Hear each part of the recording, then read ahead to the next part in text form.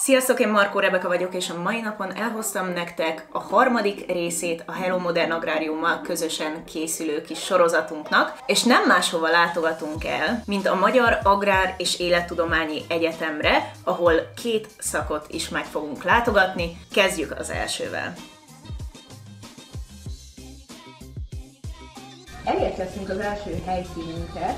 Elmeséled nekünk, hogy hol vagyunk, és mit láthatunk itt mögöttünk ebbe a gyönyörű kis dzsungelbe?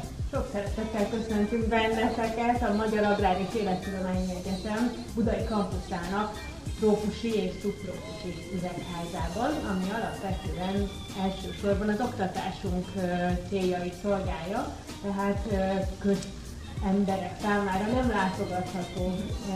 Alapvető célja, hogy a kertészmérnökök számára ilyen különleges fajok megismerését is lehetővé tegye. Kik jönnek legtöbbször ide tanulni, esetleg mivel tudnak foglalkozni, amikor itt végeznek? Ha precízen akarom megfogalmazni, akkor kertészmérnököket képzünk uh-huh. itt az egyetem falai között, szőlészkorák és egyéb hallgatók mellett, azonban a kertészmérnökökről talán mindenkinek a nadrágos gumicsizmás sztereotípiák ugranak be, de azt kell, hogy mondjam, hogy itt a 21. században ez ma már nem feltétlenül ilyen egyszerű uh-huh. földműves képét sugalja, hanem minden olyan növény termesztésével mi foglalkozunk a mezőgazdaságon belül, amik alapvetően macerásabbnak, vagy nagyobb szaktudást igénylőnek tekintetőek. Ilyenek például a mögöttünk látható dísznövények, gyógynövények, szőlő, gyümölcs, zöldség, illetve gomba termesztése. Ezek mind-mind olyan szaktudást igényelnek, ami nem egyszerű agrármérnököket, hanem kertészmérnököket tesz szükségessé a gazdaságokban, illetve hát mindenféle szakterületen. Amennyit tudtunk, annyit felvettünk nektek, viszont ahogy látjátok, egy üvegházban voltunk, és természetesen ott nem a kamerának kedvezett az időjárás. Annyira párás volt bent a levegő, hogy nem tudtunk sajnos többet videózni érdemben. De ahogy látjátok, rengeteg gyönyörű és egzotikus növény volt bent. Nagyon sok mindenről beszélgettünk, körbevezettek minket, megmutatták, hogy milyen különlegességek vannak. Sajnos ez az üvegház nem látogatható úgymond külsősök számára, viszont hogyha oda mentek tanulni, akkor akár minden nap meglátogathatjátok. Rengeteg fajta orhideát megnézhettünk, nyilván, hogy ezt emelem ki, tehát az egyik kedvenc virágom az orhidea, ezen kívül nagyon sok szobanövényt is megnézhettünk, amiket nagyon érdekes volt a saját élőhelyükön látni, nem bent a nappaliba. Az biztos, hogy így nálunk a nappaliba sose fog kinézni egyik sem. Ezután az arborétumon keresztül átsétáltunk a második helyszínünkre, ahol megint csak nagyon érdekes információkat tudhattunk meg, mint például azt, hogy van egy banánfa Budapest kellős közepén. Ezen kívül egyébként azt is megtudhattuk, hogy miért tudnak megélni ott az arborétumban trópusi növények, ugyanis van egy viszonylag magas fal, és a déli lejtő, ami megvédi őket a téli hidegektől és a talajmenti fagyoktól, úgyhogy olyan növényekkel is találkozhatunk ott, amikkel általában Dél-Horvátországban találkozhatunk leghamarabb. És miután áthaladtunk az arborétumon, megérkeztünk a második helyszínünkhöz is, amit ti most láthattok. És megérkeztünk a második állomásunkra, ahol itt van velünk András, és elmondja, hogy hol vagyunk pontosan, és mit is fogunk csinálni. A Magyar Agrár és Élettudományi Egyetem Kertészettudományi Intézetének zöldség és gombatermesztési tanszékén vagyunk. Mi ebben a laborban azzal foglalkozunk, hogy megpróbáljuk a hallgatókat megtanítani arra, hogy hogyan kerül a gomba az áruházakban, mm. illetve a piacokra, és megpróbáljuk őket bevezetni a gombatermesztés rejtelmeibe. És mit fogunk most csinálni? Hát nagyon sok mindennel készültünk, megpróbáljuk neked, illetve nektek megtanítani azt, hogy hogyan lehet a gombákat életbe tartani. Szét fogunk trancsírozni egy gombát, ezt otthon lehet növeszteni, nyomon lehet követni, hogy hogyan fog ez fejlődni, megnézzük azt, hogy hogyan szaporítjuk a gombákat, és remélem eljutunk odáig, hogy elkerül a gomba a piacra.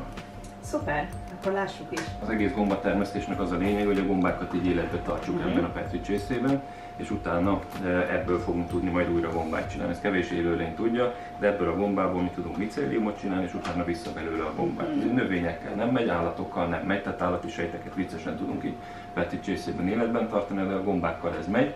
És akkor amit fogunk csinálni, hogy szét fogunk trancsírozni egy ilyen gombát, uh-huh. meg itt bent a fülkében ketté törjük, és megpróbálunk majd ilyen lelángolt eh, szikével innen középről kimetszeni egy darabkát, és ide rápöttyinteni Ja. a közepére, jó? Ebben a két kémcsőben meg alkohol van, uh-huh. bele fogjuk majd mártani előtte a szikét, és arra figyelj csak, hogy így ne tarts fel a szikét, mert akkor lefolyik az alkohol a kezedre. Az első, amit csinálni fogunk, az az, hogy megpróbáljuk ezeket a gombákat tenyészetbe vonni. Ez annyit jelent, hogy a gombák képesek arra, hogy bennüket, az őket alkotó sejteket itt Petri csészében életbe tartjuk. De itt két gombát is látunk, két típust is, barna kalapú gombát, illetve fehér kalapú gombát. Mind a kettő gombát jól ismerjük, hiszen egész évben ott van az áruházaknak a polcain.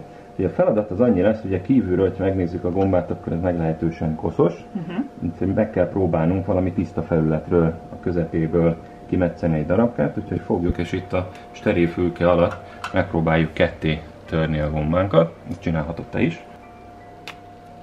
Jó, és akkor arra figyelünk, hogy itt középen nem érünk hozzá, és kezünkbe vesszük a szikét, jobbkezesek jobb kézbe, balkezesek bal kézbe, és akkor vigyázva arra, hogy a alkohol ne folyjon a kezünkre, mi rálépek a gázpedálra, és közben itt a láng fölött lelángoljuk a szikét, uh-huh. hogy steril legyen.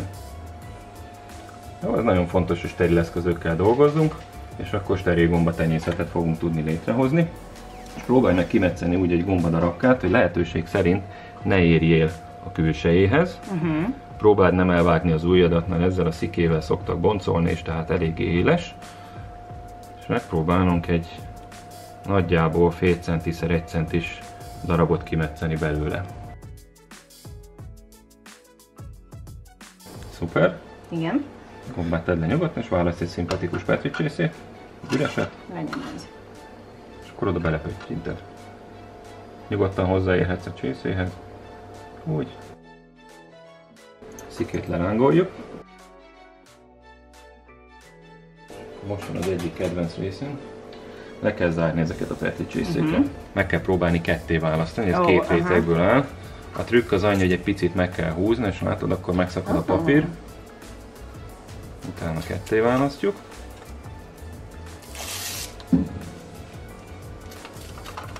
És le kell zárni a Petri csészét azért, hogy lehetőség szerint senki nem ásszon be, akit mi nem szeretnénk. Igen, Megfogod a és nyilván ezzel az oldalával. Így van. És nyújtjuk, mint a rétest. Ó, A jó. van ez a jó tulajdonsága, hogy lehet nyújtani, legalább kétszer-háromszor körbe tekerjük. Ami történik fog, néhány nap múlva ez a kis gomodarab el fog kezdeni kiszőrösödni, tehát micéliumokat fog növeszteni, aztán rá fog nőni a táptalajra, és hogyha minden jól megy és otthon nem sikerül megölni a gombát, akkor nagyjából egy két-három hét elteltével egy ilyen gomba tenyészetet fogunk kapni. Hogy lehet megölni? Például, hogyha most megfagyasztod, amikor mész haza, Igen. vagy hogyha megfőzöd, egyébként szobahőmérsékleten nagyjából 20 fokon kell csak tartani, és akkor semmi baj nem lesz. Ebben a Petri csészében van annyi táptalaj, van annyi nedvesség, hogy ennek a gombadarabkának egészen sokáig tud Szuper.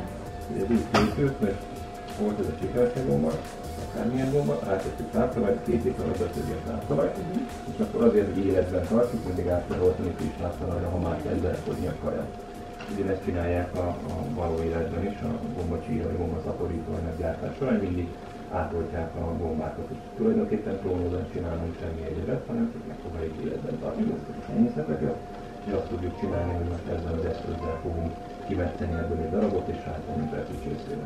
Fogjuk a kis pálcánkat, ez egy nagyon speciális laboreszköz, nem tudom, hogy felismerjük-e, talán közelebbről ismerős lehet annak, aki biciklizik.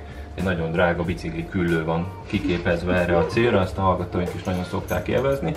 Megint egy kicsit beledugjuk az alkoholba. Csinálok egy kis tüzet. Lelángoljuk az elejét, hogy steril legyen. A következő feladat az lesz, hogy ebből a kicsit öregedő gombatenyészetből csinálunk egy frisset. Uh-huh. A feladat az annyi lesz, mutatom, kinyitjuk a petri csészét, és innen a széléből, ahol a legfrissebb a micélium, megpróbálunk egy nagyjából 1 centiszer 1 centis kockát kivágni, utána új petri csésze közepére rátenni.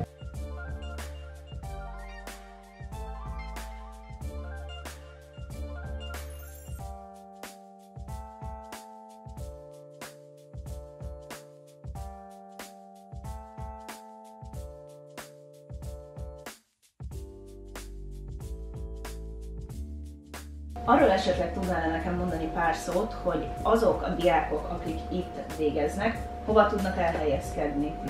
Mi alapvetően kertészmérnököket képzünk BSC és MSC szinten.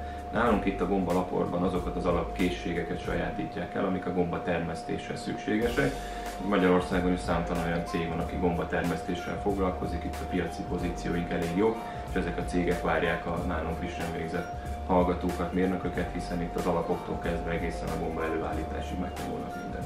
Láttátok, hogy lehetőségem volt kipróbálni pár dolgot, és azt is, hogy hazahozhattam egy kis mintát magammal. Az egyik fele nálam van, a másik fele Barbinál, viszont ami itt van nálunk, azt most meg is mutatom nektek. Ahogy láttátok, két különböző mintát hoztunk el. Az egyik mintám az valószínűleg meghalt menet közben, ugyanis nem kifejezetten szőrösödik, hát egy picit igen, de lehet, hogy nem megfelelő volt neki a környezet, viszont a másik.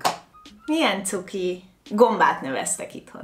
Remélem, hogy ebből a videóból is tudtatok valamit tanulni, így a harmadik részre, illetve, hogyha ilyen irányban gondolkoztok továbbtanulás szempontjából, akkor tudtam nektek segíteni. Hogyha bármilyen információra még kíváncsiak vagytok, akkor az elérhetőségek lent vannak a leírásban. Köszönöm szépen, hogy megnéztétek, hogyha tetszett, akkor mindenképpen dobjatok egy lájkot, iratkozzatok fel, ha még nem vagytok, és a következő videóban találkozunk. Sziasztok!